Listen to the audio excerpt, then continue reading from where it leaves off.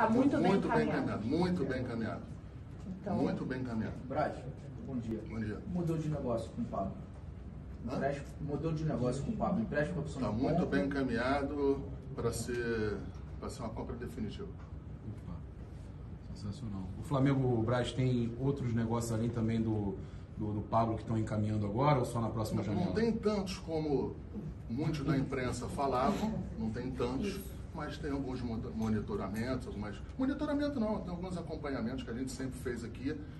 É, muita conversa fiada em relação a atletas da Ucrânia, atletas da Rússia, pessoas falando o que não conhecem, não sabem. Não sou eu que estou falando, não, tá? A prova aí que a FIFA depois só liberou aí até três meses aí. Ucrânia, no caso. Sim.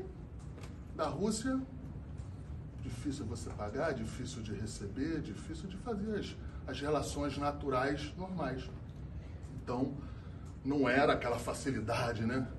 Que as pessoas diziam para os torcedores, não era aquela facilidade que indicavam, até porque quando abriu a janela da Europa, todos os clubes europeus passaram naturalmente a ser adversários, ou a ser adversários não, a ser Alternativas. alternativas para eles.